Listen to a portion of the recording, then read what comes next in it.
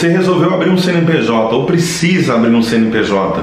Te disseram que é muito fácil e que é só abrir o CNPJ para você emitir nota e tá tudo certo. Nem sempre é assim. Nesse vídeo, se você pensa em ter um CNPJ, pensa em abrir um CNPJ e não conhece muito bem as obrigações que você tem depois que você abrir e quais são os prejuízos que muitas pessoas tiveram por não entender sobre esse assunto com clareza, se esse assunto te interessa, vem comigo que eu vou te ajudar nisso.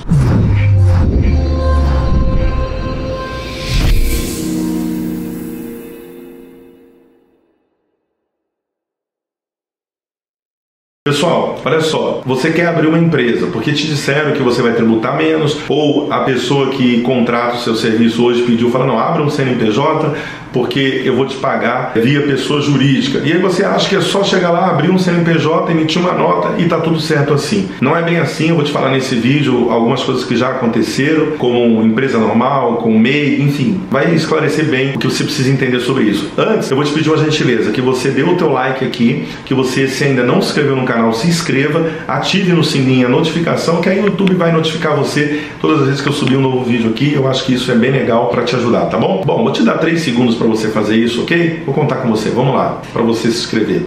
Um, dois, três.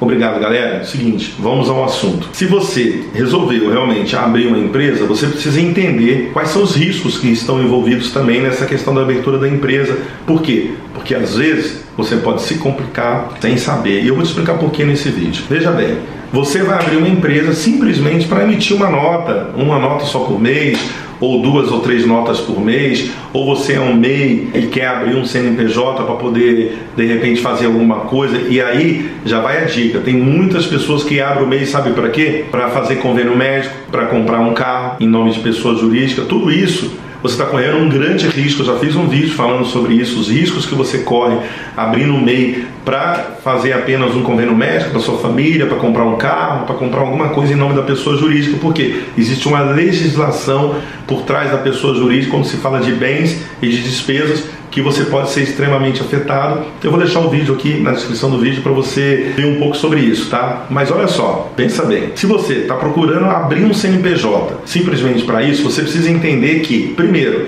depois que você tem um CNPJ, você tem que cadastrar em todos os órgãos, tá? Inclusive prefeitura. Você precisa ter um certificado digital, você precisa fazer emissão da nota, mas só que você também tem algumas obrigações legais. Por exemplo, você precisa entregar as obrigações para o governo. Isso é, você tem que fazer todos os meses. Você tem que ter contabilidade da sua empresa, sabe por quê? Vamos dar um exemplo. Você emite uma nota só por mês, ok? Na pessoa jurídica. E aí você pega esse dinheiro e coloca na sua pessoa física, sem fazer contabilidade, sem nada. Sabe o que, que acontece? Se você está fazendo esse procedimento, você corre um risco muito grande. Por quê? Porque o dinheiro que entrou na sua pessoa física, ele não tem a origem. Ah, a origem então é da sua empresa pessoa jurídica.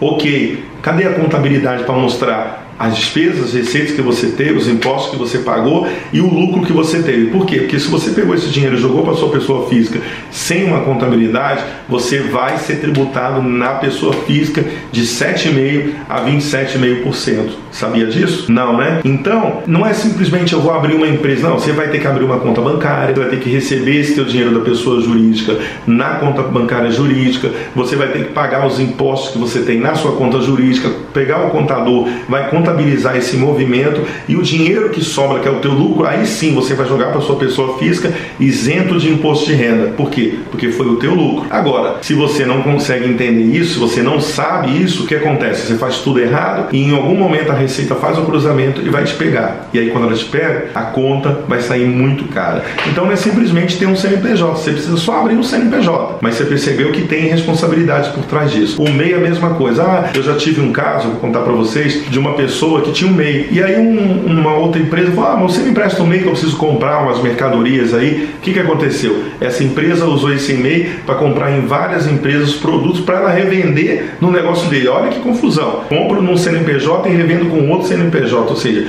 os dois estão fazendo coisas totalmente erradas. Mas aí o que, que aconteceu? Essa pessoa que só comprou com o teu CNPJ. O que, que aconteceu? A Receita cruzou, viu que esse cara tinha comprado mais de 500 mil reais em compra no CNPJ do MEI. E aí você sabe que o MEI é 81 mil de faturamento por ano, você pode comprar no máximo 80% desse valor. A Receita Estadual chamou essa pessoa e deu uma multa de quase 300 mil reais. Veja bem, 300 mil reais.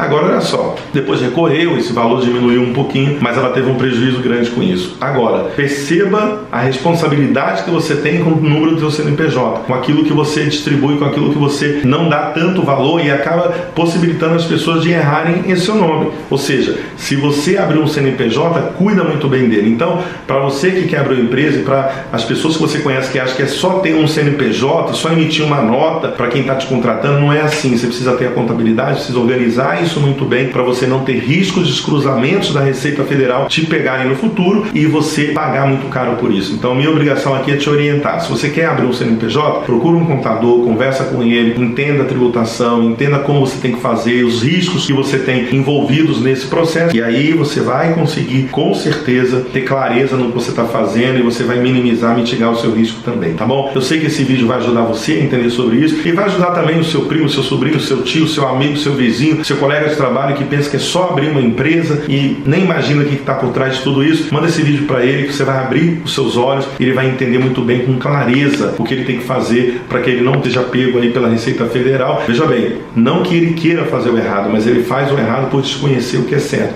Então, a minha obrigação é falar e a sua também é ajudar mandando esse vídeo nas suas redes e ajudando as pessoas a entenderem claramente tudo isso, tá bom? Olha, vejo você, obrigado pelo like aqui, tá no vídeo. Vejo você no próximo vídeo com muito sucesso. Um grande abraço.